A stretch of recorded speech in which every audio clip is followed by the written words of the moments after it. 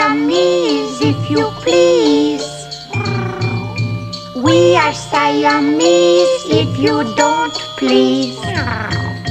Now we're looking over our new domicile. If we like, we stay for maybe quite a while.